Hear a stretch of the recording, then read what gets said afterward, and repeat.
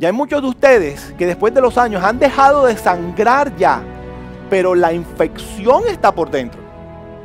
Y ahora es un proceso doloroso porque es ir a la clínica y el médico tiene que reabrir la herida y limpiar por dentro.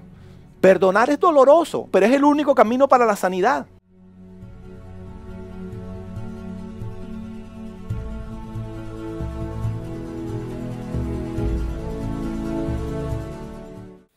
Darío crece y normalmente escoge alguna carrera en donde puede impactar multitudes.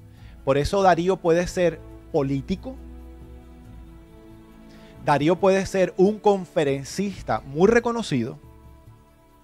O Darío puede convertirse en el pastor y anhela tener una mega iglesia.